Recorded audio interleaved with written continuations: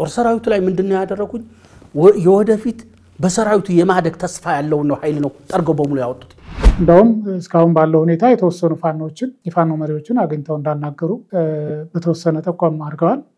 በአጠቃላይ በመንግስትና በፋኖዎች መካከል መልካም ግንኙነት እንዳይፈጠር ወይም ውይይት፣ ድርድር እንዳይጀመር የሚፈልጉ ወገኖች ከግጭት ከጦርነት አትራፊ የሆኑ ወገኖች በዛ መልክም ሊተረጉሙት ይችላሉ። ከገቡበት ድረስ ወደኋላ ማፈግፈግ አያስፈልግም። ሁለተኛ መንግስትም ሰላሙን ይፈልገዋል። በንግግር በድርድር የሚመጣ እስከሆነ ድረስ ከብዙ ኪሳራ ያድነዋል። አዲስ አበባ ጀነራል ተፈራ ማሞ ወደ ፋኖች ሄደው እንደተቀላቀሉ ሰምተናል። እሱን መሰረት አድርጎ ብዙ ነገሮች የተባሉ ነው። ፋኖች መሪዎችም እንኳን ደህና መጣ አይነት መልእክቶች እየተላለፉ ነው። በጣም ደስተኛ መሆናቸውን በቃ የመጨረሻ አማራጭ ነው ጦርነት። የመጀመሪያው አማራጭ በሰላማዊ መንገድ በመነጋገር በመወያየት ችግሮችን መፍታት ነው። ከትግራይ ጋር እኮ ከትግራይ ኃይሎች ጋር ድርድር ተካሂዶ እኮ ስምምነት ላይ ተደርሷል። ለአስር ቀን ለአስጨራሽ ሆነ። ደሴ ላይ እንዴት ተገኙ? የነበረውን ድባብ ከዚህ በቀደምም ደሴ ላይ የነበረውን ከዚህ በፊት በነበረው መድረክ የገባነውን ቃል ተግባራዊ እያደረግን ነው የሚል አይነት መልእክቶች ነበሩ። ምን ቃል ገብተው ነበር፣ ምን ተግባራዊ ያደረጉ የሚል ትንተናዎች፣ የሴራ ትንተናዎች ሲካሄዱ ነበር በአንዳንድ ሌላው እዚያ ላይ የታየውና የብዙዎች መነጋገሪያ ሆኖ የነበረው አንደኛ ህዝቡ ካባ ሸልሟቸዋል። ህዝቡ ነው ወይ ሌላ ጉዳይ ነው። ተሰብሳቢው ከየት የተውጣጣ ነው ማን ነው አንድ ነገር ነው። ሁለተኛ ተሰብሳቢውስ ነው ወይ ይህን ነገር የወሰነው? ዶክተር አብይ ከዚህ በፊት የተለያዩ ሽልማቶችን ወይም ገጸ በረከቶችን ለሌላ ሰው አሳልፎ የመስጠት ልምድ አላቸው። ሲቀናኝ ቀናህን እኔ ችግር ውስጥ በወድቅ አብረህ ትወድቃለህ የሚል መልእክት የማስተላለፍ እና ቁርጠኛ ደጋፊ ቁርጠኛ እሳቸው ታማኝ ሰዎች እንዲሆኑ የሚያደርጉበት መንገድ ይመስለኛል። ሁለት ሴቶች በጣም ቀርበዋቸው እንደው ደህና ነው እያሉ በንባ ጭምር የታገዘ የሚመስል ሲቃ በሲቃ የተሞላ ጤንነቱን የጠይቁት ነበረ። ለምሳሌ ለምንድነው እዚህ እንደዛ የከለከሏቸው? ያችን ሴትዮ ቢያገኟቸው እዛ ውስጥ ሆነው ምንም ችግር አልነበረው። ደሴ ላይ ደግሞ እንዴት እንደዛ አይነት ዘና ብለው ሜዳ ላይ እንደውም ጠብቀው ተገናኝተው የሄዱበት ሁኔታ ምንድን ነው የሚል ሁለቱን እያነጻጸሩ ሴራ ትንታኔ እሳቸውም እንግዲህ ምናልባት የመጀመሪያው መሪ በመነጽር አድርገው እግር ኳስ ሜዳ ላይ ገብተው የተወሰነው ጨዋታ ያደረጉ ተብለው ሊወሰዱ ይችላሉ። እኛ የመረጥነው ጠቅላይ ሚኒስትር ነው እንጂ እግር ኳስ ተጫዋች አይደለም የሚሉ ሰዎች አሉ እና ስራውን ሰላም ጤና ይስጥልን የተወዳጅ ተመልካቾቻችን እንደምሰምታችኋል። የእኛ መድረክ ፕሮግራማችን ጀምሯል። እስከ ፕሮግራሙ ፍጻሜ ድረስ አብራችሁ እንድትሆኑ በአክብሮት እንጋብዛለን። እዚህ አብረናችሁ ዶክተር ሲሳይ መንግስቴ የአዲስ ዩኒቨርሲቲ መምህር፣ የህግ ባለሙያ ጠበቃ እዚህ አብረውን ይገኛሉ። ከእሳቸው ጋር መልካም የሆነ ቆይታ እናደርጋለን። አብራችሁ እንድትሆኑ በአክብሮት እንጋብዛለን። በዛሬ ቆይታችን የተለያዩ ወቅታዊ የሆኑ ሀሳቦችን እናነሳለን። በተለይ ደግሞ የጠቅላይ ሚኒስትሩን የደሴ ጉዞ ጨምሮ የተለያዩ ሀሳቦች ተነስተዋል። እነሱን እናነሳለን። እንዲሁም ደግሞ በፋኖና በመንግስት መካከል ላይ አደራዳሪ እኔ አይደለሁም የሚል የሰላም ካውንስል እንደተቋቋመ እናስታውሳለን እና በዚህ ሳምንት መግለጫ አውጥቷል። ይህንን መግለጫ ምን ሀሳብ አለው? አንድምታው ምንድን ነው? እንዲሁም ደግሞ የቀድሞ የአማራ ክልል ልዩ ኃይል መሪ የነበሩት ብርጋዴር ጀነራል ተፈራ ወደ ፋኖ መቀላቀላቸውን በዚህ ሳምንት ሰምተናል። ምንድነው አንድምታው? እነዚህ ሀሳቦች እናነሳለን። አብራችሁን ከቆያችሁ ሌሎች ሀሳቦችንም ይዘናል። በተለይ ደግሞ በጠለምት አካባቢ በአስተዳደራዊ መዋቅሩን መፍረሱን እንዲሁም ደግሞ ከህወሓት በኩል ተፈናቃዮች መመለሳቸውን ሰምተናል በዚህ ሳምንት።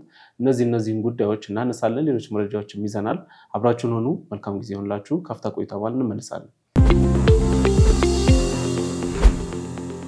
እሺ ዶክተር ሰላም እንደምን አሉ? እንደምን አደርክ? እንዴት ዋልክ? አለን እንግዲህ እንደ ሁልጊዜው እንደምንለው ሀገራችን ላይ እንግዲህ አንድ ቀን አድረን ስንመለስ የተለያዩ ጉዳዮች የተለያዩ አጀንዳዎች የሚነሱባት ሀገር እንደሆነች የቅርብ ጊዜ ልምድ አድርገነዋል እና እንዲሁ በዚህ ባሳለፍነው ሁለት ቀኖት ሁለት ቀናትም የተለያዩ ጉዳዮች አበይት የሚባሉ ጉዳዮች በመግቢያም ለማንሳት የሞከርኳቸው ሀሳቦች ተነስተዋል እና እንደው ለመጀመሪያ ያክል በተለይ ደግሞ በሰላም ውይይቶች ነበሩ። እዚህም አዲስ አበባም ባህር ዳር ላይም የዛ ውጤት ደግሞ ኮሚቴ ተቋቁሞ በተለይ ደግሞ በመንግስትና በፋኖ መካከል ላይ ለማደራደር ሳይሆን በሩን የመክፈት አይነት ስራ ነው ያለኝ የሚል እንዲሁም ደግሞ የማሳሰቢያ አይነት መግለጫ አውጥቷል እና የሰላም council እንደው ከዚህ ከሰላም council ጋር በተያያዘ በተለይ ደግሞ በፋኖ በኩል ደግሞ ራሱን እያጠናከረ ነው የሚሉ ሰዎችም አሉ። በተለይ ብርጋዴር ጀነራል ተፈራ ማሞም ተቀላቅለዋል። ስለሳቸውም የተወሰኑ ሀሳቦችን ብናነሳ የሚል ሀሳብ አለኝ እና ሌሎቹን ሀሳቦች ደግሞ መለስ ብለን እናያቸዋለን። ዶክተር አመሰግናለሁ አሸብር። እንዳልከው ባለፉት ሶስት አራት ቀናት በርካታ ነገሮችን ሰምተናል። ብዙ እየተባለ ነው። ከነዚህ ውስጥ አንዱና ትኩረት ስቦ ያለው ጉዳይ ባለፈው ሳምንት የአማራ ክልል የተለያዩ ከተሞች ላይ ሲካሄዱ የነበሩ የሰላም ኮንፈረንሶች ማጠቃለያ ባህር ዳር ላይ ተካሂዶ እንደነበር እናስታውሳለን። እዛ ማጠቃለያ ኮንፈረንስ ላይ መግለጫ ከማውጣት ያለፈ ውይይት እና ማሳሰቢያዎች ከመተላለፋቸው አልፎ ወደ ተግባር እንዴት ነው መገባት ያለበት የሚል ያኔ ታስታውስ ከሆነ ስንወያይ የተግባር action plan ም ሊያዘጋጁ ይችላሉ። ስራም በኃላፊነት ክፍፍል አድርገው ወደ ስራ ሊገቡ የሚችሉበት እድል ይኖራል የሚል ጥቁምታ ነበር ያነሳ ነው። ያ በዛ መሰረት መጨረሻው ላይ እንዳየው አስራ አምስት አባላት ያሉት የሰላም ምክር ቤት የሚል ተቋቁሞ ስራ እንዲጀምር ተደርጓል። ይሄ የሰላም ምክር ቤት ማን ነው ያቋቋመው? እንዴት ነው የተቋቋመው? የሚሉ ጥያቄዎች ያነሳሉ የተለያዩ ሰዎች። ይህን ምክር ቤት ያቋቋመው የባህር ዳር ላይ የተካሄደው የአማራ ክልል የሰላም ኮንፈረንስ ነው። ከስምንት ከተሞች የተውጣጣ ወይም ከመላው የክልሉ ከተሞች ማለት ይቻላል ከየወረዳው ከየዞኑ ተወክለው በየአካባቢው የተካሄዱ ኮንፈረንሶች ነበሩ። አዲስ አበባ ላይ እንደዚሁ ከሁሉም ክፍለ ከተማና ወረዳዎች እንዲሁም ከተለያዩ የህብረተሰብ ክፍሎች የተውጣጡ አንድ ትልቅ ኮንፈረንስ አድዋ ድል መታሰቢያ ሙዚየም ትልቁ አዳራሽ ላይ ተካሂዶ ነበረ። የአንድ ቀን ሙሉ ኮንፈረንስ። በእነዚህ ስምንት ከተሞች ላይ በተካሄዱ ኮንፈረንሶች የተውጣጡ ባህር ዳር ላይ ክልል አቀፍ የሆነ የአማራ ተወላጆችን ያሳተፈ አጀንዳዎችን አጀንዳ አድርጎ የተወያየ ኮንፈረንስ ተካሂዶ ነበረ። በዚህ ኮንፈረንስ ላይ በተለይ ማጠቃለያው ላይ የፖለቲካ ሰዎችም ተገኝተው ነበረ። የአማራ ክልል ፕሬዚደንት እና ካቢኔውን ጨምሮ ተገኝተዋል። በፌዴራል ደረጃ ያሉ የአማራ ክልል ተወካዮች በተለይም አቶ አገኘሁ ተሻገር የፌዴሬሽን ምክር ቤት አፈ ጉባኤም ተገኝተው ማብራሪያም የሰጡበት ሁኔታ አለ። ስለዚህ በዋናነት እነዚህ የኮሚቴ አባላት የተመረጡት በኮንፈረንሱ ተሳታፊዎች እንደሆነ ነው ያለን መረጃ የሚያሳየው። ኃላፊነትም ተግባርና ኃላፊነትም የተሰጠው በዚህ በኮንፈረንሱ ተሳታፊዎች አማካኝነት በተቀመጠ አቅጣጫ እንደሆነ ነው የሚጠበቀው። የክልሉ መንግስት ያን በአዎንታዊ መልኩ ያየበት እንደ አንድ ተሳታፊ ቀጣይም አብሮ ለመስራት የሚያስችል ምቹ ሁኔታ እንፈጥራለሁ የሚል ቃል የገቡበት ሁኔታ እንዳለ እናያለን። ስለዚህ ምናልባትም የክልሉን መንግስት ይሁንታ ያገኘ የክልሉ መንግስት ብቻ ሳይሆን የፌዴራል መንግስትንም ይሁንታ ያገኘ ነገር ግን በየዞኑ ከተውጣጡ በየወረዳው ከተውጣጡ ተሳታፊዎች መካከል የተመረጠ የሰላም ምክር ቤት ብለን ልንወስደው እንችላለን። በዋናነት የሰላም ኮንፈረንስ ተሳታፊዎች የወከሉት ግን ደግሞ ከክልሉ መንግስት ጋር የሚሰራ ፋኖዎችንም የፋኖ መሪዎችንም አግኝቶ ለመግባባት ጥረት የሚያደርግ አይነት ኃላፊነት የወሰደ አካል ነው። እንግዲህ ለዚህ ምን አይነት ህጋዊ መሰረት ይኖረዋል፣ እንዴት ነው የሚለው ከታየ ያን ያህል ወሳኝ የሆነ ሚና የሚጫወት አይደለም። ራሱን በመግለጫው ላይ እንደገለጸው የማመቻቸት ኃላፊነት ነው የሚኖረው። በተለይም የፋኖ መሪዎችን በተናጠል የሚሆን በጋራ አግኝቶ ለድርድር ለሰላማዊ ውይይት ዝግጁ እንዲሆኑ የማግባባት የማሳመን ስራ ሊሰራ ይችላል። ከዛ ያለፈ ራሱ አደራዳሪ እንደማይሆን ገልጿል። ይህ አንድ መታወቅ መቻል አለበት። አደራዳሪ ሊሆን የሚችለው ሌላ አካል ነው ማለት ነው። እዚህ አስራ አምስት ዓመት ማነው አስራ አምስት አባላት ያሉት የሰላም ምክር ቤት ግን ከተለያየ የህብረተሰብ ክፍል የተውጣጣ እንደሆነ እንገምታለን። በተለይ ደግሞ ትላልቅ የሃይማኖት አባቶች፣ የሀገር ሽማግሌዎች፣ ምሁራን፣ ወጣቶች፣ ሴቶች የመሳሰሉት በኮሚቴው ውስጥ እንዳሉ እንገምታለን። ስብጥራቸው የዚህ አይነት ባህሪ ስላለው የተሰሚነታቸው ጉዳይ በዛው ልክ ሊታይ የሚችልበት እድሉ እንዳለ ማየት ይቻላል። እንደውም እስካሁን ባለው ሁኔታ የተወሰኑ ፋኖችን የፋኖ መሪዎችን አግኝተው እንዳናገሩ በተወሰነ ጠቋም አድርገዋል። ግን ያው አንድ ወጥ የሆነ ማዕከላዊ አመራር ስለሌላቸው ፋኖች የተለያዩ ግዛቶችን መሰረት አድርገው የተቋቋሙም ስለሆኑ ሁሉንም አግኝቶ በተለይም ወደ አንድ አንጥቶ አንድ ላይ አድርጎ ለማናገር የሚያስችል ነገር አይኖርም። ነገር ግን በተናጠል አናግረው የእነሱን ይሁንታ ግምት ውስጥ አስገብተው ምናልባትም እነሱ እርስ በርስም እንዲገናኙና ሀሳብ እንዲለዋወጡ ሁኔታዎችንም ሊያመቻች የሚችልበት እድል ይኖራል። ከዛ በኋላ የፋኖዎችን ስሜትና ፍላጎት ይሁንታ ካረጋገጠ በኋላ የክልሉ መንግስት መሪዎች የሚያናግርበት የፋኖዎች ፍላጎት አቋም ምን እንደሚመስል የሚገልጽበት የመንግስትም ደግሞ ይሁንታውን የሚሰጥበት በምን በምን ጉዳዮች ላይ መደራደር እንደሚፈልግ በማን አማካይነት ለመደራደር ዝግጁ እንደሆኑ ምን ምን አይነት ጉዳዮችን አንስተው ቅድሚያ እንደሚሰጡ ከመንግስት አመራሮችም ጋር የመነጋገር እድል ይኖረዋል። ስለዚህ በዚህ ዙሪያ እንግዲህ ባለፉት ሶስት አራት ቀናት የተንቀሳቀሰ መሆኑን ነው የተረዳ ነው። ይሄ መልካም ጅምር ይመስለኛል። እንደ ዝም ብሎ አቅለን ማየት ያለብን አይመስለኝም። አንዳንዶች እንደሚሉት በመንግስት መልካም ፍቃድ የተቋቋመ ስለሆነ ምን ለውጥ ያመጣል፣ ዞሮ ዞሮ የመንግስትን አቋም አይነት ሀሳብ የሚያራምድ አይነት ሊሆን ይችላል የሚል ስጋት ያላቸው አሉ። አንዳንዶቹ ከቅን ልቦና የመጣ ስጋት ነው የሚሆነው። አንዳንዶቹ ሆን ብለው የዚህን አካል ሚና ለማኮሰስ ፋኖዎችም በጥርጣሬ አይን እንዲያዩት ለማድረግ በአጠቃላይ በመንግስትና በፋኖዎች መካከል መልካም ግንኙነት እንዳይፈጠር ወይም ውይይት፣ ድርድር እንዳይጀመር የሚፈልጉ ወገኖች ከግጭት ከጦርነት አትራፊ የሆኑ ወገኖች በዛ መልክም ሊተረጉሙት ይችላሉ። እዚህ ላይ ሁለት ነገር መጠንቀቅ ያስፈልጋል። አንደኛው ራሱ ይሄ ምክር ቤት የሚባለው የመንግስት ተለጣፊ እንደዚህ ስለሆነ ምናምን ብለው ለሚያጥላሉት ወገኖች ጆሮ መስጠት የለበትም። የሚሰራ አካል ስራውን ነው ማሰብ ያለበት። የሚሰራው ስራ ትክክል ነው አይደለም፣ ለህዝብ ይጠቅማን አይጠቅምም፣ ዘላቂ ሰላም ያመጣን አይመጣም፣ ይሄን ቁጭ ብሎ መምከር መመዘን አለባቸው። አንዳንዱ ደግሞ ምናልባትም ከፋኖ ጋር የመለጠፍም ነገር ሊኖር ይችላል። ለምሳሌ ፋኖችን ለማነጋገር በሚያደርጉት ጥረት እንዴት ፋኖዎችን አገኙ? ይህማ ቀደም ሲል ግንኙነት ነበራቸው ማለት ነው የሚል ደግሞ ከመንግስት ወገን ከመንግስት ጋር ለማላትም ለማጣላት ጥረት የሚያደርጉ አካላትም አይኖሩም ማለት አይደለም። ስለዚህ ከሁለት ወገን ሊመጣበት የሚችል ፈተና እና የማጥላላትን ሚናውን የማንኳሰስ ከዛ አልፎ አንዱ ጋር ለማላተም የሚሰራ ስራ እንደሚኖር ታሳቢ አድርጎ ሚዛኑን ጠብቆ በተቻለ መጠን ተአማኒነትን ሊያስገኝ በሚችል መልኩ ስራውን መስራት መቻል አለበት። መንግስትንም ያን ያህል መፍራት የለበትም። ምክንያቱም ፈቃደኛ ሆኖ ነው በመንግስት ይሁንታ ላይ የተመሰረቱ ኮንፈረንሶች ናቸው የተካሄዱት።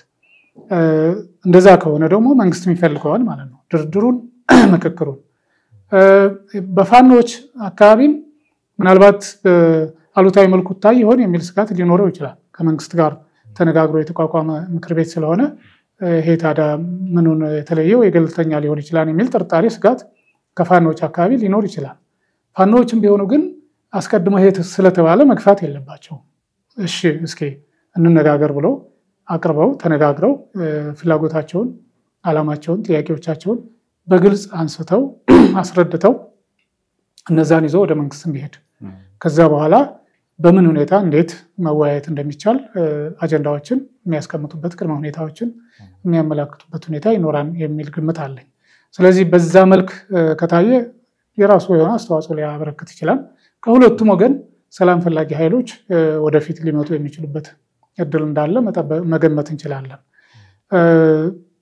እንግዲህ ምንድነው ህልም ቅዠት ይመጣን ተብሎ ሳይተኛ አይታደርም ይባላናል። ህልም ተፈርቶ ስለዚህ የሚሰራ ወገን እንደገና ደግሞ ፈቃደኛ ሆነው እስከገቡበት ድረስ ወደኋላ ማፈግፈግ አያስፈልግም። ሙሉ ጊዜ ሰጥተው ተገቢ ትኩረት ሰጥተው በአጠቃላይ ለሀገሪቱም በተለይ ደግሞ ለአማራ ህዝብ የሚጠቅም ሰላም ሊያመጣ የሚችል እንቅስቃሴ ማድረግ እንዳለባቸው ይሰማኛል። ከዚህ ጋር ተያይዞ ደግሞ ፋኖዎችም ይሄን ወገን በጥርጣሬ በስጋት ወይም የመንግስት ተለጣፊ ነው ብሎ ከማራቅ ወይም ላለማግኘት ጥረት ከማድረግ ይልቅ በማግኘታቸው ይጠቀማሉ እንጂ የሚያጡት ነገር የለም። አግኝተው የእነሱን አቋም ማየት የእነሱን በትክክል እንደሚሰሩ በተለያየ መልኩ እየጠየቁ ሀሳባቸውን እያወቁ ማረጋገጥ የሚቻልበት እድል እንዳለ ግን ይገባኛል። ስለዚህ ስራ መጀመሩ አንድ በጎ ነገር ነው። በምን ሁኔታ ሊሰራ እንደሚችልም የተወሰነ አመላካች የሆኑ መግለጫዎች መስጠቱ እኔ በጎ ጅምር ብዬ ነው የማስበው። እንደው ምናልባት ዶክተር በተለይ ደግሞ የሰላም ካውንስሉ ብዙዎች ቅድም እርሶ ሲያነሱት እንደነበረው መንግስት በጣም ተጽዕኖ ተደርጎበት ነው። በተለይ ደግሞ በአዲስ አበባም በተለያዩ በስምንት ስብሰባዎችም ተደርገዋል እና ህብረተሰቡ ጫና አድርጎበት ነው የሚሉም አካላት አሉ እና እንደው ቅድም ሲያነሱ ስለነበረ እንደው መንግስት በጣም ፑሽ ተደርጎ ተገፍቶ ነው ወደዚህ ወደ ድርድሩ ወደ ሰላም ወደዚህ ካውንስል ወደ እንዲቋቋም ፈቃደኝነቱ በበጎ ፈቃደኝነቱ የመጣው የሚሉ ሰዎች አሉና እሱ እንዴት ያዩታል? እውነት ነው፣ ምንም ጥርጥር የለውም። ባለፈውም ስንወያይ አንዱ ታሳቢ ያደረግነው ከፋኖ አካባቢም ያለው እንቅስቃሴ የራሱን ተጽዕኖ ያደርጋል። የህዝቡ በተለይ ደግሞ የሰላም ፈላጊው ህዝብ እና በብዙ መልኩም በቀጥታም ሆነ በተዘዋዋሪ ፋኖን የሚደግፍ የህብረተሰብ ክፍልም እንዳለ የታየበት ሁኔታ አለ። ስለዚህ በስምንቱም መድረኮች ወይም ስምንቱንም መድረኮች ራሱ የሰላም ኮንፈረንስ ብሎ ለማዘጋጀት የተገፋበት መከላከያ ኃላፊነቱን ወስዶ የመከላከያ ጀነራሎች በተለይ አማራ ተወላጅ የሆኑ የመከላከያ ጀነራሎች ይህን ኃላፊነት ወስደው ኮንፈረንሶችን በየዞኑ ከተሞች ማድረጋቸው ከዛም አልፎ አዲስ አበባ መጥተው አዲስ አበባ ነዋሪ የሆነው አማራ እንዲወከል ያደረጉበት ሁኔታ አንደኛው ግፊት ጫናው ስለተደረገበት ነው። ሁለተኛው መንግስትም ሰላሙን ይፈልገዋል። በንግግር በድርድር የሚመጣ እስከሆነ ድረስ ከብዙ ኪሳራ ያድነዋል። በብዙ መልኩ ከህዝብ ጋር እየተጋጨ ከተወሰነ የህብረተሰብ ክፍልም ጋር ቢሆን እየተዳማ የት ይደርሳል? ይሄ መታወቅ መቻል አለበት። እነዚህም ኮሚቴዎች አሁን ተቋቁመው ስራ ሲጀምሩ ያን የዛን ህዝብ ድጋፍ ይዘው ነው ወደ ስራ የሚገቡት። እንዲሁ ዝም ብለው መንግስት ብድግ ብድግ አድርጎ መርጦ ያስቀመጣቸው አይመስለኝም። በስምንቱም ከተሞች ላይ የተካሄዱ የሰላም ኮንፈረንሶች ያወጣቸው መግለጫዎች አሉ። እነዚህን መግለጫዎች compile አድርገው ወይም በአንድ ላይ ጠምረው ይዘው የዛ አጠቃላይ ጭማቂን ሀሳብ መሰረት አድርገው ነው ወደ ስራ የሚገቡት። ስለዚህ መንግስት ፈቅዶ ፈልጎ ወዶ ያደረገው ነው ሊባል ይችላል። ግን እንዲሁ ዝም ብለው ከራሱ ተነሳሽነት ብቻ የመጣ አይመስለኝም። ግፊቱ ጠንከር እያለ ሲሄድ የአማራን ህዝብ አንዱ በሌላው መልኩ እያስከፋ እያስቀየመ የሚሄድበት ሁኔታው እየጠነከረ ስለመጣ ሰው ከዛ በተወሰነም ቢሆን መሞከሩን እሱም የመረጠው ይመስለኛል። ስለዚህ ግፊት ተደርጎበት ነው። አዎ ምንም ጥርጥር የለውም። ውጤትስ ይኖረዋል ብለው ዶክተር? እንግዲህ ውጤት ይኖረዋል ብዬ ተስፋ አደርጋለሁ። እንዳልኩ እኔ ብዙ ጊዜ መልካሙን ነገር ነው የማስበው። ከፋኖ አካባቢ የተሰጡ ምላሾች አሉ። ከዛ በኋላ አይደለ ከሰላም ኮንፈረንሶቹ በኋላ የተወሰኑ ፋኖዎች በቃል አቀባዮቻቸው በኩል በአንዳንድ ተወካዮቻቸው በኩል ብዙ እንደማይፈልጉት ድርድሩን፣ ንግግሩን አሁን እየወደቀ ያለ መንግስት ጋር ለመደራደር ዝግጁ እንዳልሆኑ አንዳንዶቹ እብድ ከሆነ መሪ ጋር ብለው በግለሰብ ደረጃ ሳይቀር በዛ መልክ የሚገልጹበት ሁኔታ አለ። ይሄ ባለፈውም እንደተነጋገርነው politically wise የሆነ decision ነው ብዬ አላምንም። ወይም የፖለቲካ ስልት ሊያሰራ የሚችል ወደፊት ሊያራምድ የሚችል ሰከነ በበሰለ መልኩ አንድን ትግል ለመምራት ከሚፈልግ ወገን የመጣ ወይም የሚነገር ነገር ነው ብዬ አላስብም። በስሜት እና ጊዜያዊ ድጋፍን ወይ ሆይታን መሰረት አድርጎ የሚነገሩ ንግግሮች ይመስለኛል። እንዲህ አይነት ነገሮች መሰናክል ይሆናሉ፣ ምንም ጥርጥር የለውም። እሱ ብቻ ግን አይደለም። አሁን ላይ ደግሞ ምናልባት አንዱ አብረን እናነሳው የምንችለው ሰሞኑን ከአዲስ አበባ ጀነራል ተፈራ ማሞ ወደ ፋኖች ሄደው እንደተቀላቀሉ ሰምተናል። እሱን መሰረት አድርጎ ብዙ ነገሮች የተባሉ ነው። ከፋኖች መሪዎችም እንኳን ደህና መጣ አይነት መልእክቶች እየተላለፉ ነው። በጣም ደስተኛ መሆናቸውን የሚገልጹ በማህበራዊ ሚዲያው ላይ የሚለቀቁ ጽሁፎች እና ንግግሮች አሉ።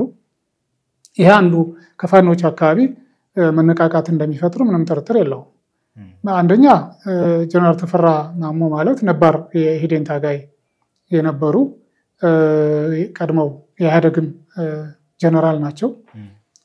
በኢህአዴግ ጊዜ ያው በህወሀት ሴራ መፈንቅለ መንግስት ሊያካሄድ ሲል ተያዘ ብለው እሱና ሌሎች እነ ጀነራል አሳምነው ጽጌን እና ሌሎችንም አስረዋቸው ወደ ዘጠኝ ዓመት ነው። ከዚያ በላይ የሞት ፍርድ ጭምር ይመስለኛል። የሞት ፍርድ ወይም የዕድሜ ልክ ስርዓት ተፈርዶባቸው ኋላ ላይ ነው ኢህአዴግ እየተንገዳገረ ሲመጣ በለውጥ ዋዜማ የተለቀቁት። ሰው በትግሉ ወቅትም በትጥቅ ትግሉ ወቅትም የራሳቸው ሚና የነበራቸው ሰው ናቸው። ምናልባትም ሸማቂው ኮማንዶ የሚለውን መጽሐፍ አንበባው ከሆነ እዛ ላይ የነበሩበትን ሂደት እንዴት ወደ ትግል እንደገቡ በትግሉ ሂደት ውስጥ የነበራቸውን ሚና የሚያሳይ ትልቅ ልምድ እንዳላቸው በዛ ህይወት ያለፉ መሆኑን የሚያመለክት ነገር አለው። እሱ ብቻ አይደለም። ኋላም ላይ የአማራ ክልል ልዩ ኃይል ዋና አዛዥ ነው የሰሩበት ሁኔታ ነበር። በአዛዥነታቸው ብዙዎቹ እንግዲህ የልዩ ኃይል አባላት የሚወዷቸው የሚያከብሯቸው እንደነበሩ ይነገርላቸዋል። ይሄ ብቻ ሳይሆን አሁን ባለው ሁኔታ ልዩ ኃይሉ ትጥቅ እንዲፈታ ሲወሰን አምሳ በመቶ የሚሆነው ከሞላ ጎደል አምሳ በመቶ የሚሆነው የልዩ ኃይል የአማራ ልዩ ኃይል አፈንግጧል ወይም ወደ ፋኖች ተቀላቅሏል። ሰው ሲመሩት ከነበረው ኃይል አምሳ በመቶ ወደ ፋኖ ተቀላቀለ ወይም ጫካ ገባ ማለት አሁን እሳቸው ወደ ፋኖ ሲቀላቀሉ የሚፈጥረውን ስሜት ማሰብ መቻል አለብን። ሌሎችም ፋኖች ተጨምረውበት ከልዩ ኃይሉም የወጣ ያፈነገጠው ኃይልም ጭምር በእሳቸው ስር ሆኖ ሲመራ ሲያስተባብር የነበረ ሲዋጋ የነበረ ኃይል ነው እና ለዚህ ኃይል ትልቅ የሞራል ስንቅ ትልቅ ተምሳሌታዊ አመራርነት ሊኖራቸው እንደሚችል መገመት ይችላለን። ስለዚህ ይሄ በተወሰነ መነቃቃት ሊፈጥርላቸው ይችላል። የሞራል እና በራስ የመተማመን ስሜትንም ሊያመጣ የሚችልበት እድሉ እንዳለ እንጠብቃለን። ይህም ሆኖ በሌላ በኩል ደግሞ አንድ ተጨማሪ መሪ ያገኙ ማለት ነው። በእርግጥም እሳቸው ጤነኛ ሆነው በዚህ በፋኖ ትግል ውስጥ በቀጥታ የሚሳተፉና አብረው እንትን የሚሉ ከሆነ የወታደራዊ አመራር ክፍተቱን ሊሞሉ የሚችልበት እድል አለ። እስካሁን አሉ፣ ኮሎኔሎች አሉ፣ ሻለቃዎች አሉ። በመስመራዊ መኮንን የሚባል ደረጃም በብዛት እንዳሉ ይነገራል። የበታች ሹማምንትም እንደዚሁ ከፖሊስም ከመከላከያም የሄዱ በልዩ ኃይሉም ውስጥ የነበሩ የተለያየ ኃላፊነትን ይዘው የነበሩ ሰዎች አሉ። ነባር ደግሞ ፋኖዎች አሉ። በረዥም ጊዜ ቆይታ የመሪነት ልምድንም የመዋጋት ብቃትንም በራስ የመተማመን ስሜትንም ያዳበሩ አሉ። ጎንደር፣ ወሎ በዚህ መልክ የሚጠቀሱ ሰዎች እንዳሉ ማየት ይቻላል። ስለዚህ እነዚህ ድምር ውጤት ሊያመጣ የሚችለው በራስ የመተማመን መንፈስ ቀላል አይሆንም። እሱ ብቻ ግን አይሆንም ብቻ አይደለም። ተስፋ እንደማደርገው ምናልባት ጀነራል ተፈራም እንዳልኩ ንቁ ተሳታፊና የአመራርነት ቦታ የሚይዙ ከሆነ መደራደርን፣ በሰላማዊ መንገድ ችግሮችን መፍታትን የአማራ ሕዝብ ጥያቄ መንግስት ፈቃደኛ ሆኖ እስከተገኘ ድረስ በንግግር በሰከነ መልኩ በበሰለ መልኩ ችግሮችን ለመፍታት ጥያቄዎችን ለማስመለስ የሚያስችል ነገር አለ ብለው የሚያምኑ ከሆነ እንደራደር ወደሚለው ሀሳብ ሊመጡ እንደሚችሉ ገምታለሁ። ስለዚህ አንደራደረም፣ ከዚህ ጋር እንወያይ የሚሉትን ወገኖች ረጋ በሉ፣ ምንድነው ሰከን በሉ። ጦርነት እንግዲህ የኖሩበት ነው እድሜ ልካቸውን ጀነራል ተፈራ። ስለዚህ ከጦርነት ምን አይነት ጥቅም ምን አይነት ጉዳት እንደሚገኝ ያውቃሉ። የግድ ካልሆነ በስተቀር ጦርነት በመሰረቱ አይመረጥም። በቃ የመጨረሻ አማራጭ ነው ጦርነት። የመጀመሪያው አማራጭ በሰላማዊ መንገድ በመነጋገር በመወያየት ችግሮችን መፍታት ነው። ጥያቄዎች ካሉ ጥያቄዎች መልስ እንዲያገኙ ግፊት ማድረግ ነው። ያ አልሆን ብሎ ምንም አማራጭ ሲጠፋ ወደ ግጭት ወደ ጦርነት ሊገባ ይችላል። ግን ከዛ በፊት ብዙ አማራጮች ብዙ መንገዶች ስላሉ እነዚህን መንገዶች ለመጠቀም ጀነራል ተፈራ ምናልባት አዎንታዊ አስተዋጽኦም ሊያደርጉ የሚችሉበት አዎንታዊ ተጽዕኖ እነዚህ የተበታተኑትንም የፋኖ አመራሮች እና የፋኖ ኃይሎች ምናልባትም አሰባሳቢ ሊሆኑ የሚችሉበት እድሉም ዝግ አይደለም። የማሰባሰብ አቅም ወደ አንድ የማምጣት እያንዳንዳቸው መክረው ገስጸው እንዲገናኙ፣ እንዲግባቡ፣ በጋራ አብረው እንዲሰሩ የማድረግን ሚና ይኖራቸዋል ተብሎ ይጠበቃል። ምክንያቱም senior የሆኑ ጀነራል ናቸው። ያው በኢህአዴግ ጊዜም ታስረው ስለነበር በኋላም በ formal የመከላከያው መዋቅር ስላልቆዩ ነው እንጂ አሁን በዚህ ጊዜ ያኔ ከነበሩበት አንጻር ስታየው ምናልባትም ባለ four star ጀነራል ሊሆኑ እንደሚችሉ መገመት ትችላለህ። ከሳቸው በታች የነበሩ ጀነራሎች ናቸው አሁን ሌተናል ጀነራል፣ ሙሉ ጀነራል ሆነው እየመሩ ያሉት። ስለዚህ እሳቸውም በዛው በመከላከያ ቀጥለው ቢሆን ኖሮ አሁን ላይ ሙሉ ጀነራል የመሆን እድላቸው በጣም ረዥም ሰፊ ነው። ሰው እድሜም በራሱ ቀላል ነገር አለው። እድሜ አስተምሯቸዋል፣ እስር ቤት አስተምሯቸዋል፣ ህይወት በራሱ አስተምሯቸዋል በብዙ መልኩ። ያን ታሳቢ አድርገው በስሜት ሞቅ ሞቅ እና አንዳንዴ ዝም ብሎ በልህ የሚደረጉ እንቅስቃሴዎችን ያስቆማሉ ብዬ አስባለሁ። እየገሰጹም እየመከሩም እየተቆጡም እንደ ታላቅ ተሰሚነትም ስለሚኖራቸው በዛ ረገድ የሚኖራቸው ሚና ቀላል አይሆንም። ስለዚህ ሰላማዊ ድርድር አማራጭ ከቀረበ በንግግር ችግሮችን መፍታት የሚቻልበት ሁኔታዎች ከፈቀዱ ለምን አይሳካም?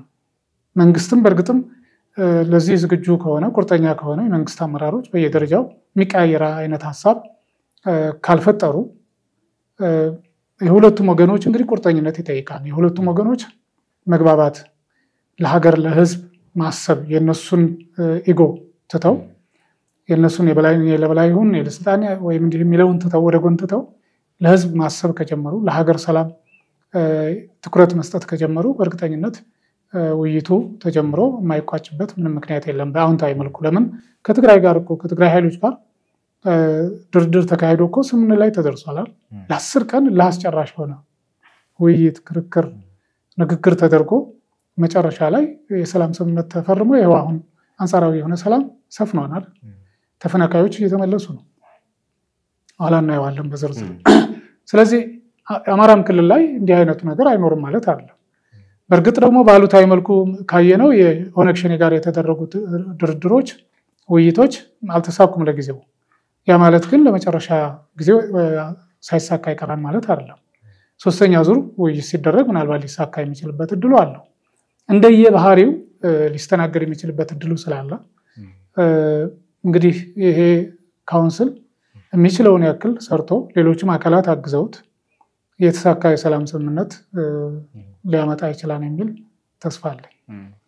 መልካም። እንደው ምናልባት ከዚሁ ከአማራ ክልል ጉዳይ ሳንወጣ ባሳለፍነው ሳምንት ጠቅላይ ሚኒስትሩም ደሴ እንደ ድንገት ተገኝተው ነበር እና የተለያዩ ጉዳዮች እንግዲህ ይዘው ተገኝተዋል። አነጋጋሪ የነበሩ በተለይ ደግሞ በወቅቱ የነበሩ ደሴ ላይ ሲገኙ የነበሩ ትንሽ social media ውን ላይም አነጋጋሪ የነበሩ ትዕይንቶችንም አይተናል እና ባሳለፍነው ሳምንት እንደውም የጠቅላይ ሚኒስትሩ ጊዜም ይመስላል።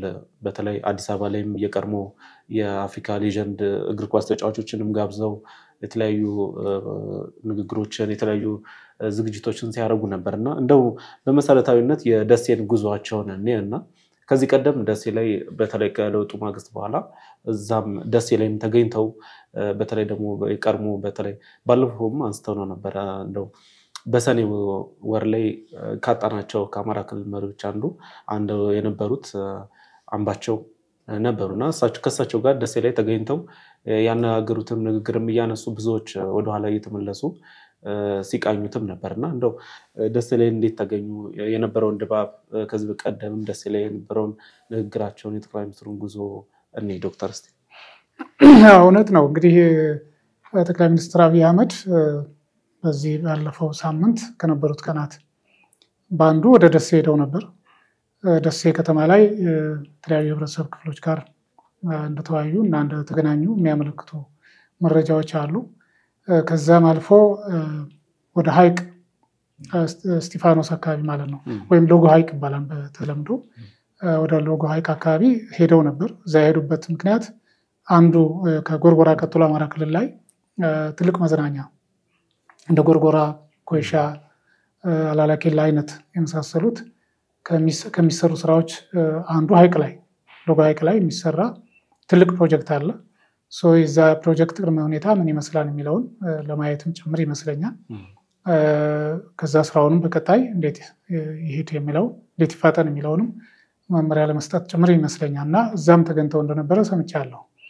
ደሴ ላይ በነበረው ውይይት እንዳልከው ቃል ከዚህ በፊት በነበረው መድረክ የገባነውን ቃል ተግባራዊ እያደረግን ነው የሚል አይነት መልእክቶች ነበሩ።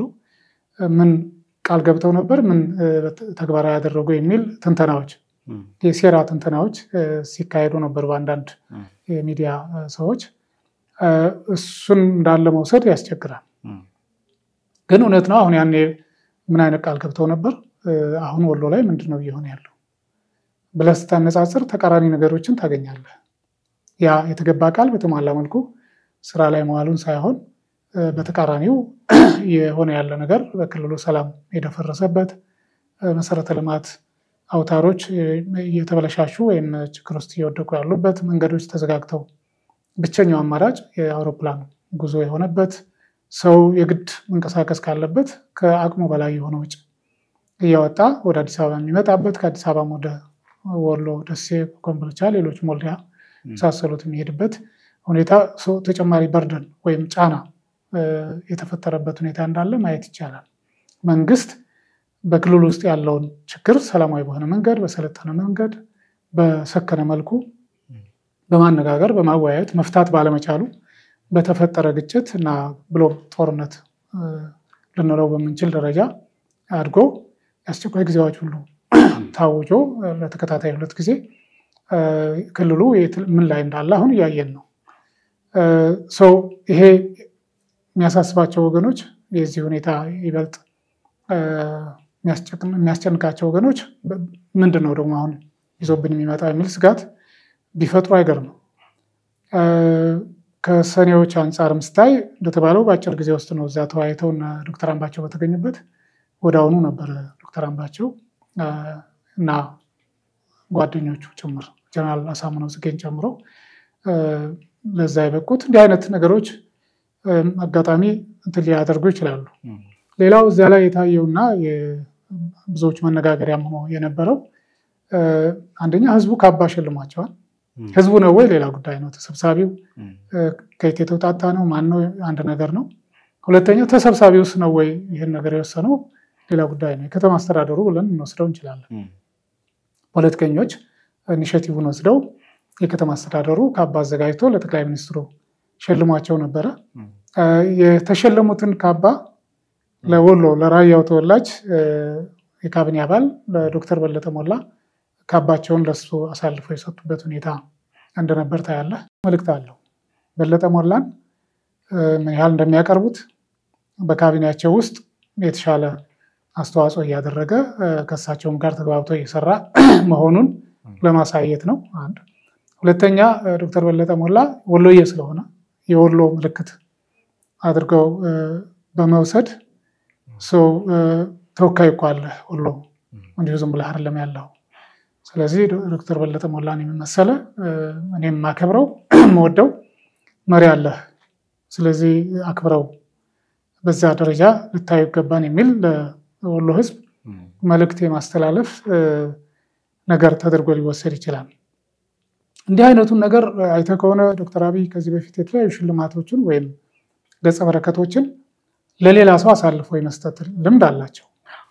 ለምሳሌ የሰላም ኖቤል ተሸላሚ በሆኑበት ማግስት እዚህ አዲስ አበባ መጥተው ሚሊኒየም አዳራሽ ይመስለኛል በተዘጋጀ አቀባበል ስነስርዓት ላይ ሜዳሊያቸውን ለማ መገርሳ የሰጡበት እኔ እናንተን የሚለየን ሞት ነው የሚል አይነት መልእክት የተላለፈበት እና በጣም እዛ ህዝቡም ድጋፉ ምኑ የደመቀበት ሁኔታ ለየት ያለ ነገር ተከስቶ ነበር። ሁለተኛው ቡሬ ላይ ይመስለኛል የበላይነህ ክንዴ ዘይት ፋብሪካ አስመርቀው እዛ ላይ የነበሩ የተለያዩ አመራሮች ሲሸለሙ የክልሉ አመራሮችም ከፌዴራል የሄዱትም ባዘጋጁ በዛ ምርቃውን ባዘጋጀው አካል እውቅና ሲሰጥ ሽልማት ሲሰጥ አቶ ብናልፍ አንዱዓለም ያኔ የብልጽግና ዋና ጽሕፈት ቤት ኃላፊ ነበሩ እና እዛው ነበሩ በዓሉ ላይ ዝግጅቱ ላይ ግን ያስታወሳቸው ሰው አልነበረም። ሰው የዛ ምረቃ የፋብሪካ ምረቃ አዘጋጅ ኮሚቴው ቢረሳቸውም ለእሳቸው የተሰጠውን ሜዳሊያ የወርቅ ሀብል ይመስለኛል ለዝምተኛው፣ ለበሳሉ፣ ለጎበዙ ምናምን ብለው ለብናልፍ አንዱዓለም የሸለሙበት እግረ መንገዱን አለ እኮ እንዲህ አይነት መሪ ከጀርባዬ የሚያግዘኝ የሚደግፈኝ ታማኝ የሆነ መሪ አለ። የዚህ ሰው ሚና እንዲሁ ዝም ብሎ መታለፍ የለበትም ሊታወቅ ይገባን ብለው ወደ ፊት አንጥተው ያን የሰጡበት ሁኔታ አለ። ስለዚህ አሁን ዶክተር በለጠ ሞላም ላይ ያደረጉት የዚህ አይነት ቀጣይ ባህሪ ተደርጎ ሊወሰድ ይችላል። ትኩረትን ሽፍት የማድረግ ይሄን በማድረግ አንድም እሳቸውን የሚደግፍ አካል ሁሉ እንዲደግፋቸው እውቅና እንዲሰጣቸው። አሊያም ደግሞ እሳቸውን የማይደግፍ የሚጠላ ሰው ሁሉ እነዚህንም ሰዎች እንዲጠላ እና መሸሸጊያ እንዳይኖራቸው መደበቂያም ጭምር እንዳይኖራቸው የሚያደርግ አይነት በቃ ግልጥልጥ አድርጎ ከዚህ በኋላ ከኔ ጋር ነህ፣ ህይወት ከኔ ጋር የተሳሰረ ነው፣ እኔ ሲቀናኝ ይቀናሃል፣ እኔ ችግር ውስጥ በወድቅ አብረህ ትወድቃለህ የሚል መልእክት የማስተላለፍ እና ቁርጠኛ ደጋፊ፣ ቁርጠኛ እሳቸው ታማኝ ሰዎች እንዲሆኑ የሚያደርጉበት መንገድ ይመስለኛል። እንዲህ አይነቱ ሂደት እስካሁን እንግዲህ ከለማ መገርሳ አኳያ አልተሳካላቸውም። አፈንግጠዋል ወይም አልተግባቡም።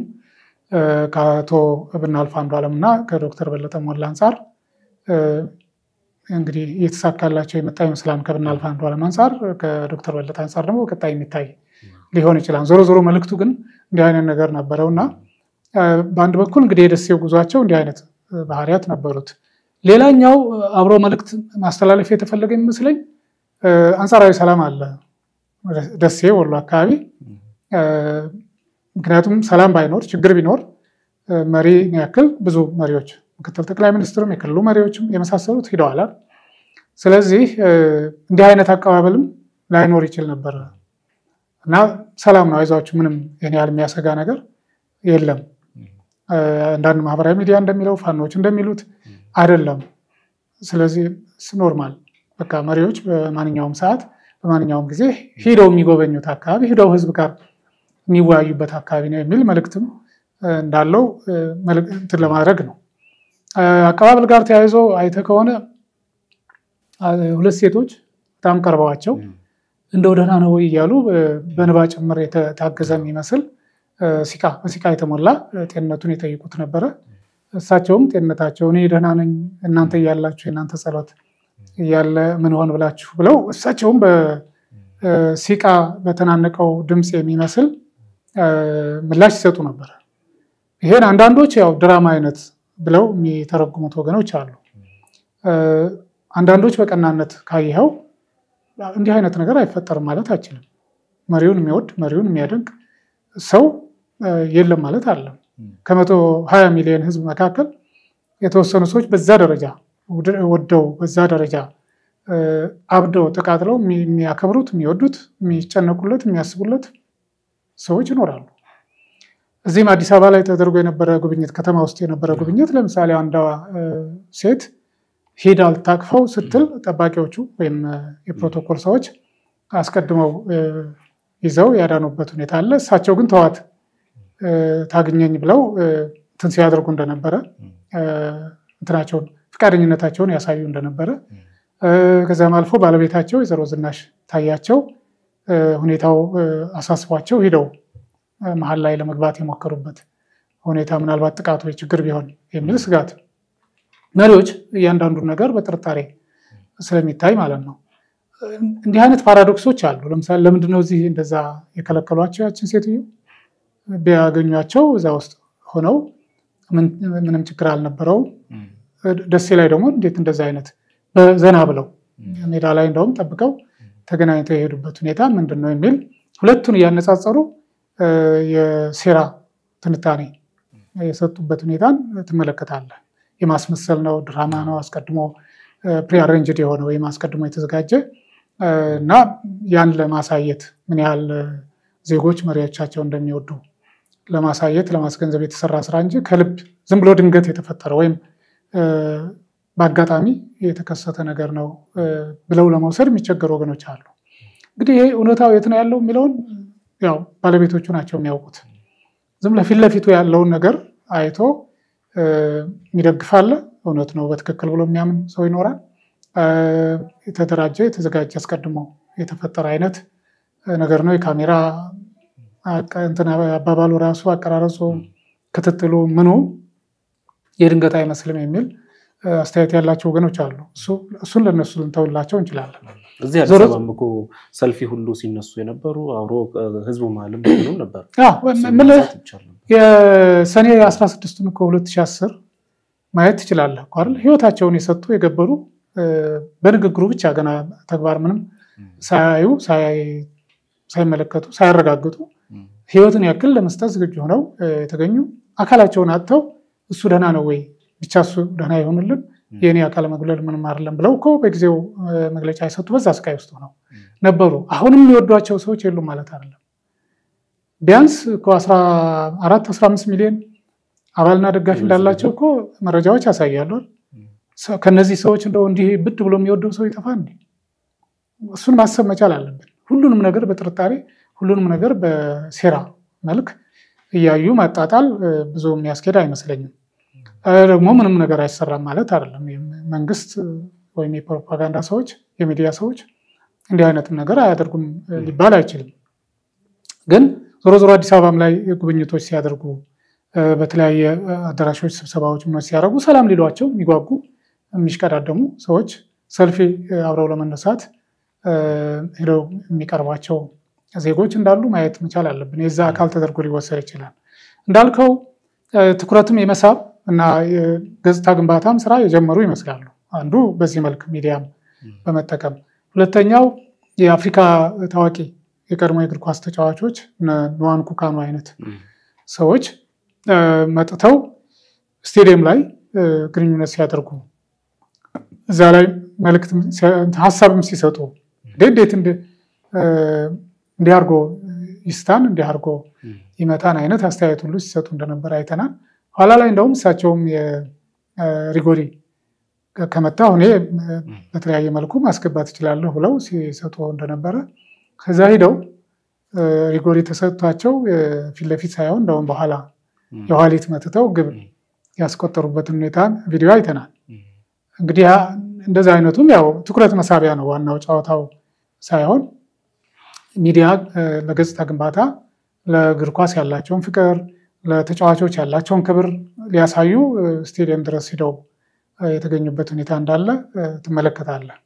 አንዳንዶች እንደ ቀልድ አድርጎ የሚወሰድ ለምሳሌ ኳስ ሲመቱ እና አብረው ለመጫወት ሲሞክሩ ጥቁር መነጽር አድርገው ነበረ እና እግር ኳስ ሜዳ ላይ መነጽር አድርገው ገብተው ኳስ መጫወት ይቻላል ወይ የሚል ቀልዶች እና አንዳንድ አስተያየቶች ይሰጡ ነበር። አስታውሳለሁ። ማን ስሙን አሁን አላስታውስም እንጂ መነጽር አድርጎ የሚጫወት የእግር ኳስ ተጫዋች እንደነበረ ግን አውቃለሁ።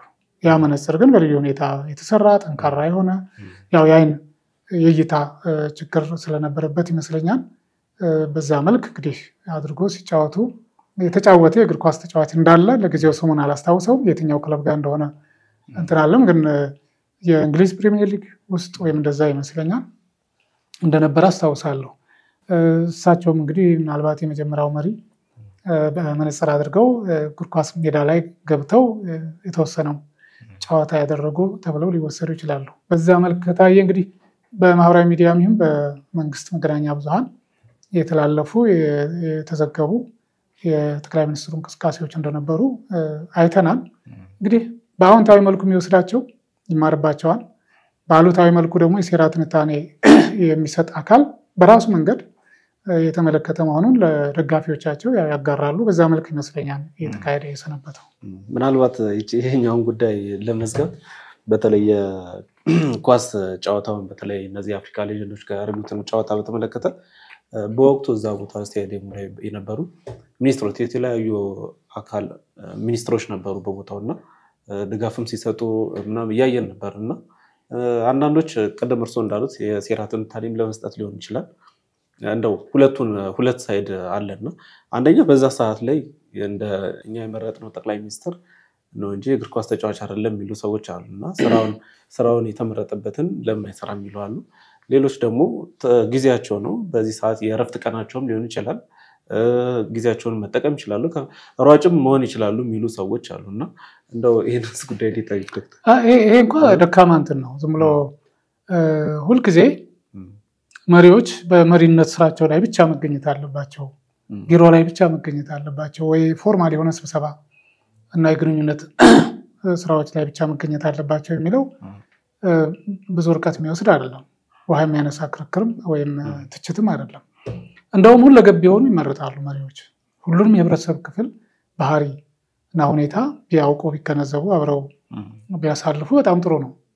በስራ ሰዓት ላይሆን ይችላል የሄዱት እነዚህን እግር ኳስ ተጫዋቾች ለማግኘት የሞከሩት ስቴዲየም ላይ ምናልባትም እሑድ ሊሆን ይችላል።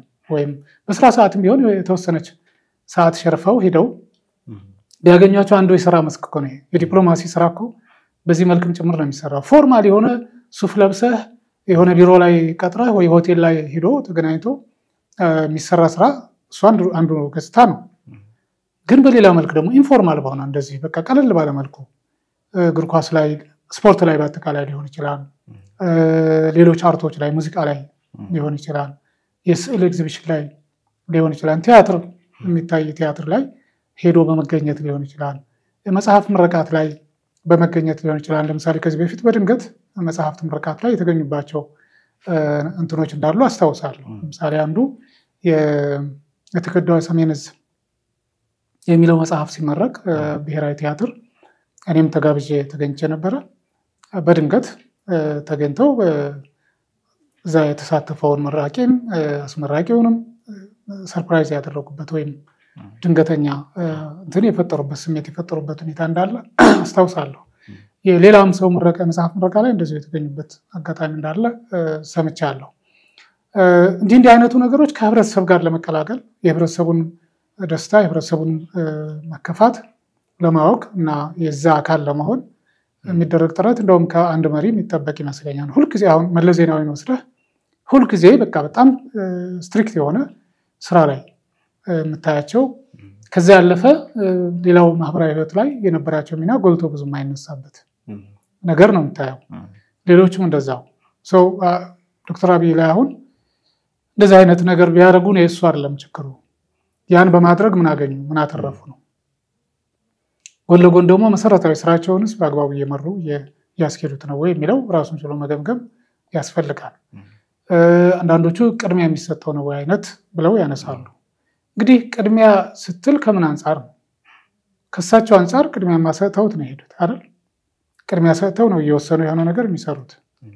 ከሌላው አንጻር ደግሞ ቅድሚያ የሚሰጠው አይነት ላይሆን ይችላል። ሰው ሁልጊዜ ትችት ይኖራል። የሰው አስተሳሰብ የተለያየ ነው። እንደየአስተሳሰቡ ግን በሰለጠነ መንገድ ገንቢ በሆነ መንገድ ሀሳቦች የሚራመዱበት አስተያየቶች የሚሰጡበት ትችቶች የሚሰነዘሩበት ነገር ጥሩ ነው፣ መደገፍ አለበት። ግን ሁልጊዜ ሴራ ትንታኔና ዝም ብሎ ሁሉንም ነገር ባሉታዊ መልኩ መተርጎም ማየት የጤናም አይመስለኝም። አንዳንዴ እሱን ማሰብ ይመስለኛል እንጂ እንደ ንዋን ኩካኑ የመሳሰሉት ናይጄሪያዊ ሌጀንድ ሌሎችም አብረው የመጡ ይኖራሉ። አሁን ለጊዜው ስማቸውን ባልገልጽም እነዚህም በራሱ ተቀብሎ ማስደሰት ቀላል አይደለም። ወይም ማስተናገድ ወጪም እኮ ሊኖረው ይችላል። አንዳንዶቹ እንደውም በተጋነነ መልኩ ያቀረቡት ነገር አለ። እነዚህን ሰዎች ለማስተናገድ ኢትዮጵያ እንዲጎበኙ ለማድረግ በርከት ያሉ የአስሮች ሚሊዮኖች ገንዘብ እንደወጣ ወይም ሊወጣ እንደሚችል የገመቱ ሰዎች አሉ። የገንዘቡ መጠን ብዙ እንትን ላይሆን ይችላል። አንዳንዱ ተጋኖ ሊሆን ይችላል። እውነትነት ሊኖረው ይችላል። መሰረታዊ ነገር እዛ ላይ ለማስተላለፍ የተፈለገው መልእክት ምንድን ነው? እነዚህ አካላት ለአሁን ብቻ ለዚህ ሰሞን ሚዲያ ብቻ አይደለም እንትን የሚሉት ሄደው በየሀገሮቻቸው ዓለምንም ይዞሩ ናቸው። ወደ አውሮፓ፣ አሜሪካ የሚሄዱ በየጊዜው ብዙ ግንኙነት ያላቸው ሰዎች ናቸው። ስለዚህ ስለ ኢትዮጵያ መልካም ነገር ይዘው እንዲሄዱ ስለ መንግስት ለኢትዮጵያ መንግስት ቀናነት ወይም ለዚህ ትኩረት ለስፖርቱም ትኩረት የሚሰጥ አይነት እንደሆነ አድርገው የሚገልጹበት እድል ሊኖር ይችላል። ስለዚህ መልካሙንም ነገር ማሰብ መቻል አለብን። ሁልጊዜ አሉታዊም ብቻ ወጪውን ብቻ ምናምን ሳይሆን መልካም ውጤትም ሊኖረው እንደሚችል የሀገር ገጽታ ግንባታ ላይ የዲፕሎማሲ ተጽዕኖ መፍጠር ላይ ሊኖረው የሚችለው መልካም ነገርም ታሳቢ ልናደርግ እንችላለን እና በዛ መልክ ሚዛናዊ አድርገን ካላየ ነው ትክክል አይመስለኝም። መልካም እንደው ምናልባት በተለይ ከተጫዋቾች ጋር በተያያዘ በዋነኝነት ጠቅላይ ሚኒስትሩም ሲናገሩ እንደነበሩት እንዲሁም ደግሞ የእግር ኳስ ፌዴሬሽኑም ሲናገር እንደነበረው ኢትዮጵያ የአፍሪካ ዋንጫን ለማዘጋጀት እንቅስቃሴ ላይ እንዳለችም ሲናገሩ ነበር። ያን ደግሞ ለማሳመን የገጽታ ግንባታ እርሶም እንዳነሱት ያንንም ይጠቅማል ከሚል አንጻር መሰረታዊ ነገር ውስጥ ስለሆነ በዛ እንየው። እንደው የቲዲኤፍ አባል የሆኑ የማይጠምሪ እዛ የጠለምት ተወላጆች እንኳ ራሱ በቲዲኤፍ አባልነታቸው መግባት አይችሉም። በዛ የያዙትን ትጥቅ ይዘው መግባት አይችሉም። አሁን እዚ አካባቢም ህዝብ እንቅስቃሴ ጠንከር እያለ መጥቷን ተቃውሞ በህወሓት ላይ ያለውን ተቃውሞ ከድሮ በተለየ ዘረፋን ለማስቆም የመሬት ወረራን ለመግታት ተቃውሞ እንቅስቃሴ እያደረጉ ነው። ግፊት ለማድረግ ሰላማዊ ሰልፍ ሲወጡ ከልክለዋል። ወረዳ እንሁን የሚል ጥያቄ ያውም ሰላማዊ በሆነ መልኩ የቀረበን ተቃውሞ የከለከሉበት የበተኑበት ሁኔታ አለ። ይሄ ደግሞ ከፈሪ መንግስት ከፈሪ ፓርቲ የሚመጣ ነገር ነው።